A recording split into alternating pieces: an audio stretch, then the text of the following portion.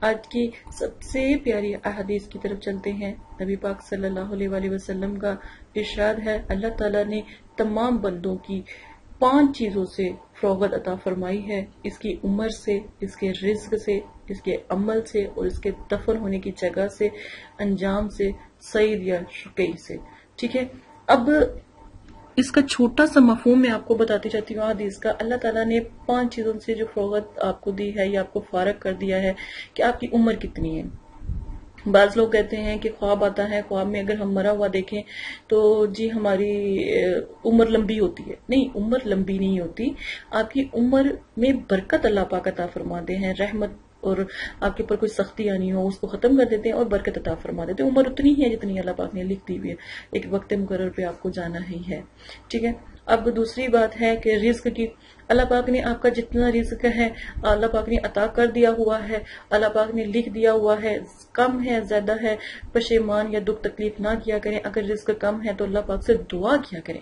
کیونکہ دعا کا اللہ پاک نے نہیں لکھا ہوا کہ اللہ پاک کہ میرے بندے مجھ سے اتنی کوانٹٹی میں دعا مانگے، اتنی کوانٹٹی میں دعا قبول ہوگی۔ نہیں، ایسا کچھ نہیں لکھا ہوا۔ دعا آپ جتنی بھی مرضی مانگ سکتے ہیں، اپنے رزق کو بلند کر سکتے ہیں، اپنی رزق میں برکت عطا فرما سکتے ہیں۔ اور آپ دعا کیا کریں، انشاءاللہ دعا بھی قبول ہوتی ہے۔ عمل جو اور جو آپ عمل کرتے ہو یا دفنانے کی جگہ ہے، جہاں پر آپ نے اکثر لوگوں کو موت آتی ہے، تو ان کے تو قبر اللہ پاک جو ان سے ہیں تو بنوز بلا جو ہے، قبر بھی ان بیچاروں کو نصیب نہیں ہوتی۔ اللہ پاک نے ان کا بھی تو وقت مقرر لکھا ہے نا۔ تو دعا کیا کرے کہ اللہ پاک ہمیں جو مرنے کی جو ہمارا مقام ہے، یہ جگہ اللہ پاک ہمیں وہ عطا فرمائے، ٹھیک ہے؟ اپنی عمل کو ٹھیک کریں۔ اپنے دل کو مضبوط کریں، ٹھیک ہے؟ کوئی پریشانی ہو، دکھ تکلیف ہو، ہم سے ضرور رابطہ کریں۔ پوری کوشش کی جائے گی کہ اللہ پاک کے جو کلام پاک ہے، جو آپ کے لیے اہمیت رکھتے ہیں، طریقہ جو ہے ہم آپ کو سمجھائیں گے، بتائیں گے، انشاءاللہ ضرور مدد کی جائے گی۔ آج کا وظیفہ ماشاءاللہ بہت پیارا ہے۔ ایک میرے بھائی کی فرمائش پر یہ وظیفہ میں بتانے لگی، ان کی کپڑے کی دکان ہے اور وہ کہتے ہیں کہ دکان میں اتنا مطلب کہ میں اتنی محنت کرتا ہوں لیکن ذرا بھی لوگ نہیں آتے اور میں ایسا کیا کروں یا میں کون سا ایسا وظیفہ کروں کہ جس سے میرا جو ہے رسک بڑھ جائے۔ آج اسی پہ بات کی جائے گی۔ تو میں اپنے بھائی سے صرف یہ کہوں گی، اگر دکان پہ رش چاہتے ہیں، بے حساب رزق چاہتے ہیں، اگر آپ کا آفس ہے، آپ کا کاروبار نہیں چل رہا، تو آپ اپنی کاروبار کے لیے جو آپ لوگ روزانہ چاہتے ہیں، اپنی پاکٹ یعنی جیب میں رکھ سکتے ہیں، اپنے والٹ میں رکھ سکتے ہیں، اپنے جو پرس ہوتا ہے، اس میں رکھ سکتے ہیں، یہاں تک کہ آپ اپنے موبائل میں بھی رکھ سکتے ہیں۔ لیکن ایک بات کا خیال رکھیں کہ آپ کی اگر گاڑی ہے تو آپ گاڑی میں رکھ سکتے ہیں۔ اگر آپ جو آپ مطلب کہ آپ پینٹ شرٹ استعمال کرتے ہیں تو آپ ایسا کریں اس کو فرنٹ جو جیب ہے اس میں رکھ لیں۔ اگر آپ کے پاس جیب بھی نہیں ہے فرنٹ پہ تو آپ اپنی بازو پہ باندھ لیں، ٹھیک ہے؟ اور پھر دیکھیں کتنی اللہ پاک جو ہے رحمت برکتیں کرتے اور پھر آپ کی ترقی آپ مجھے بتائیے گا۔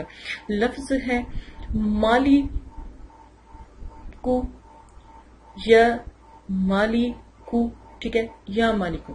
اب آپ نے اس کا طریقہ جو میں آپ کو بتانے لگی، اس طریقے سے آپ نے یہ جو ہے، ورد کرنا ہے۔ حقیقی بادشاہ میرے رب کا نام ہے، یا مالکو حقیقی بادشاہ، یا مالکو المالکو آپ کسی طرح بھی، اب آپ نے لکھنا کیسے؟ آپ نے تین لائنیں بنانی، تین لائنوں پہ آپ نے تین مرتبہ لکھنا ہے۔ مطلب کہ آپ کل نو مرتبہ لکھیں گے، اوپر آپ بسم اللہ لکھیں گے۔ جیسے ایک نقش تیار کرتے ہیں نا، تین نو خانے آپ بنائیں کاغذ کے اوپر، اور اوپر آپ نے یہ تین خانوں میں بھر دینا ہے۔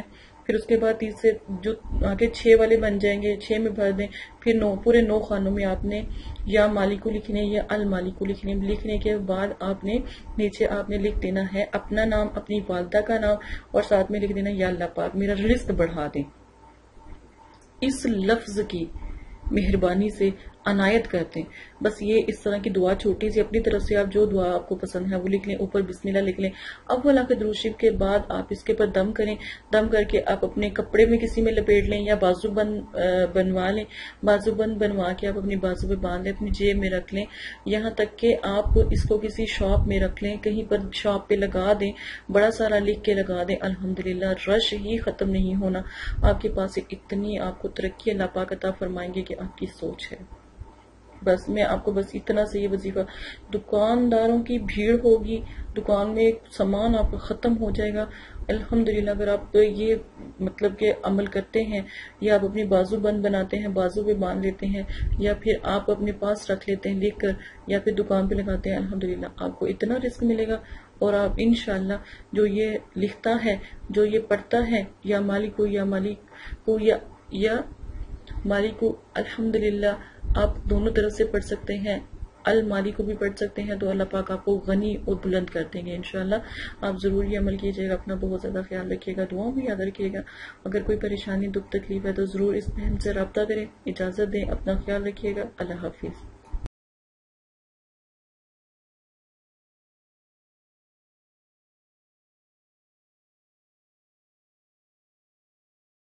بہت سے لوگوں کی فرمائش پر کہ ہمیں جادو ہے، ہمیں ایسی پریشانی ہے، ویسی پریشانی ہے۔ تو آج میں جادو کی کچھ علامتیں آپ کو بتانے لگی ہوں۔ سب سے پہلے میں آپ کو بتاؤں گی کہ عمومی علامتیں اور خصوصی علامتیں۔ عمومی علامتیں جو ہوتی ہیں، کالے جادو کا شکار پائی جاتی ہیں انسان کے اندر، اور عمومی علامتیں ہوتی ہیں جو عام جادو کیا جاتا ہے۔ یعنی کہ خواب میں نظر آنا اور چیزوں کا نمایاں ہونا۔ خواب میں پیشاب پخانہ دیکھنا، اپنے جسم پر پخانہ لگا ہوا دیکھنا، اپنے آپ کو غسل خانے میں دیکھنا، اور خواب میں نجاست اور گندگی دیکھنا، خواب میں زنا کرنا یا پھر صحبت کرنا اور ننگا دیکھنا، خواب میں ڈرنا، عجیب و غریب خواب دیکھنا، خواب میں کتا دیکھنا، مردے دیکھنا، بچھو دیکھنا، سانپ دیکھنا، یہ سب جو علامتیں ہیں، یہ سب علامتیں جادو کی ہیں۔ اللہ جادو جو آیا ہے وہ انسان جب کالا جادو کی طرف منتقل ہوتا ہے تو وہ کسی نہ کسی سے نفرت کرتا ہے یا اس سے بدلہ لینا چاہتا ہے۔ اور کالا جادو تب ہی استعمال کیا جاتا ہے جب وہ ایمان سے خارج ہو جائے۔ آپ لوگوں کو پتہ بھی نہیں ہوتا اور آپ لوگ ایمان سے خارج ہو جاتے ہیں، جو لوگ جادو کرواتے ہیں یا پھر کالا جادو کرواتے ہیں۔ جادو کیسا بھی ہو ایمان سے خارج کر دے جادو کی پہلی علامت جوڑوں میں درد ہونا، دوسری علامت بدبودار پخانہ آنا، پیشاب میں بہت تیز اسمیل ہو جانا پیٹ کا کھایا پیا، غائب ہو جانا یعنی جو کچھ کھایا ہے، وہ آدھے گھنٹے میں ختم ہو جانا۔ پیٹ میں درد محسوس ہونا دست آنا اور بدہضمی ہو جانا۔ میدے میں درد اور متلی ہونا، بخار ہو جانا، ہر وقت جسم میں درد رہنا، دل کا تیز سے دھڑکنا، سانس مشکل سے آنا، سینے میں درد اور جلن کا محسوس ہونا، آنکھوں کے آگے ہندیرا ہو جانا اور جسم کی رگوں کو تکلیف پہنچنا، نزلہ زکام، اس قسم کی چھینکی آنا جو پہلے آپ کو کبھی بھی نہیں آئی عجیب و قریب سی بدبو آنا، کھانے میں اسمیل ہو جانا، نماز میں نہ دل لگنا اور قرآن پاک پڑھیں تو دل کرنا کہ بند ہو جائے اور پورے جسم کا ہر وقت گرم رہنا، ناک کا گرم رہنا۔ تو بناؤز باللہ نماز سے دوری ہونا اور رسول کریم صلی اللہ علیہ وسلم سے تو بناؤز باللہ نفرت ہونا دل میں اسلام کی عبادت نہ ہونا اور عبادت کو برا سمجھا جانا۔ کہلی اور سستی رہنا، ہاتھ پیر سون ہو جانا، جسم پر نیلے نشان پڑتے چلے جانا، سر بھاری رہنا، جسم میں سردی کا محسوس ہونا، دن ب دن جسم کا سوکھنے شروع ہو جانا، بلا وجہ تھکاوٹ کا محسوس کرنا، بغیر کسی وجہ کے جسم میں کمزوری محسوس کرنا، کھانے سے پہلے یا کھانے کے بعد منہ سے اسمیل آنا اور عجیب و غریب سی اسمیل یا بدبو آنا، حلق میں عجیب و غریب سی اسمیل کا ہو جانا اور آنکھوں کے سامنے گلابی یا نیلے رنگ کے ڈبے سے نظر آنا عجیب سی لائنیں آنکھوں کے سامنے کالے رنگ نظر آنا یا سیاہ رنگ گھومتا ہوا نظر آنا جیسے کوئی پنکھا چل رہا ہے ہیلی کاپٹر چل رہا ہے، عجیب و غریب سی آوازیں آنا۔ آنکھوں اور کے سامنے اندھیرا چھا جانا، کمزوری لگنا یا زمین پر کالے کالے دھبے یا کالے کالے نشان نظر آنا۔ یہ سب علام یہ سب علامتیں جو ہیں کالے جادو کی ہیں، جادو کی ہیں۔ اگر آپ کے ساتھ بھی ایسا کوئی مسئلہ ہے، ان سب علامتوں میں سے تو پلیز ہم سے رابطہ کریں تاکہ ہم آپ کی مدد کر سکیں۔ آج کل جادو اور یہ چیزیں بہت عام ہو چکی ہیں، تو ہماری پوری کوشش ہوگی، جتنے بھی ہمارے سبسکرائبر ہیں، ہم ان کو بچا سکیں۔ اور کچھ تدابیر یا کچھ چیزیں ہم آپ کو بتائیں گے، انشاءاللہ اللہ کے حکم سے اگر آپ کے ساتھ یہ سب ہو رہا ہے، کاروبار میں بندش آ رہی ہے، گھر میں ناچاکی ہو رہی ہے، لڑائی ہو رہی ہے، جھگڑے ہو رہے ہیں، کہیں بچے بدتمیز ہو رہے ہیں۔ کہیں والدین کا احترام نہیں ہو رہا۔ کچھ بھی ایسا ہو چھوٹی سے چھوٹی بھی پریشانی آپ کو لاحق ہو تو ہمارے چینل پر آ کر سبسکرائب کر کے ہم سے بات کر سکتے ہیں۔ جب کسی پر جادو ہو تو بدبو آنے آنا شروع ہو جاتی ہے، بے سکونی محسوس شروع ہو جاتی ہے، دل میں گھبراہٹ ہوتی ہے، ڈر آتا ہے، خوف آتا ہے اور نفرتیں پیدا ہونے لگ جاتی ہیں، اذان سے چڑچڑا پن ہونے لگتا ہے، اذان کی آواز سے گھبراہٹ ہونے لگتی ہے۔ قرآن پاک پڑھنے یا سننے میں بھی پریشانی ہوتی ہے، جسم میں درد شروع ہو جاتا ہے۔ دوائیں میڈیسن اثر کرنا چھوڑ دیتی ہیں یا کسی بھی قسم کی دوائی آپ کھاتے ہیں تو کوئی اثر نہیں ہوتا۔ ہر کام میں جلدی ہو جانا، ہر کام کی جلدی ہونے کی آرزو کرنا، کوشش کرنا، دکان پہ اگر کوئی چیز لینے جا رہے ہیں تو انتظار کرنے سے پریشان ہونا، لڑنا، جھگڑنا، یا فساد کرنا اور بے چینی محسوس کرنا، انتظار نہ کرنا، جسم میں کیڑے سے کاٹنا، جب غور کرو تو کچھ بھی نہ نظر آنا۔ یہ سب علامتیں جادو کی ہیں۔ سر میں درد رہنا، کمر میں درد رہنا، گھٹنوں میں درد رہنا، پاؤں میں درد رہنا، جسم کے ہر حصے میں درد اور تکلیف ہونا آنکھوں کے آگے جلن اور سرخ رنگ رہنا۔ اور بار بار آپ کو ایسے محسوس ہونا جیسے آپ کو کوئی جھٹکا دے رہا ہے یا کوئی دھکا دے رہا ہے۔ اس طرح کی علامتیں بھی جادو کی علامت۔ آپ سب سے گزارش ہے جلدی سے ہمارے چینل کو سبسکرائب کر لیں تاکہ اگر آپ کے ساتھ اس طرح کی پریشانی ہے تو ہم آپ کی بھرپور مدد کر سکیں۔ اور رہی بات غیبی موکل کی، تو آج میں آپ کو غیبی موکل کے بارے میں بھی بتا دیتی ہوں۔ عمل آپ نے کچھ بھی نہیں کرنا ہوتا، آپ کو ایک ریکارڈنگ دی جائے گی، وہ آپ نے سننی ہے۔ اور تین سے سات دن میں موکلین کا آنا جانا شروع ہو جاتا ہے، خواب میں آنا جانا شروع ہو جاتا ہے۔ پھر آپ کے آس پاس ایسے لگتا ہے جیسے کوئی نہ کوئی روحانیت ظاہر ہو رہی ہے۔ غیبی موکل کا یہ عمل ہے۔ غیبی عمل، موکل کے عمل میں پہلے آپ کو استخارہ کروانا پڑتا ہے۔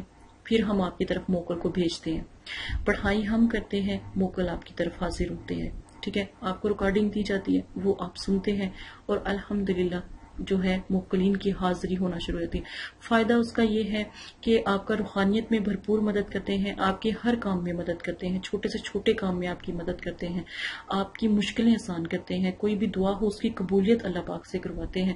اور آپ کے اوپر کبھی کوئی جادو نہیں کر سکتا، کوئی ساحر نہیں کر سکتا، کچھ بھی نہیں کر سکتا، آپ کی بھرپور مدد کرتے ہیں۔ غیبی موکل آپ کو رجت سے بچاتے ہیں۔ اگر عملیات کرتے ہیں تو غیبی موکل عملیات میں کامیابی کے لیے آپ کے ساتھ دیتے ہیں، الحمدللہ۔ تو غیبی موکل کا عمل ضرور کریں۔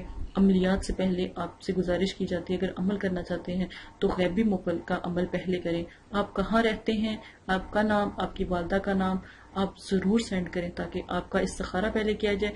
بہت سے لوگوں کی غیبی موکل میں جو ہے میلز آئیں، لیکن جس جس کا نصیب تھا، یہ جس جس کے نصیب میں پڑھائی تھی، ہم نے صرف ان کو دیا ہے۔ تو اگر آپ بھی عمل میں شامل ہونا چاہتے ہیں، غیبی موکل کا عمل لینا چاہتے ہیں، تو آپ بھی بھرپور حصہ لیں۔ انشاءاللہ آپ کے ساتھ بھی آپ کا حساب کیا جائے گا، استخارہ کیا جائے گا۔ اگر آپ کو اللہ پاک نے اس چیز کا شرف دیا ہے، تو ضرور آپ یہ عمل کریں۔ یہ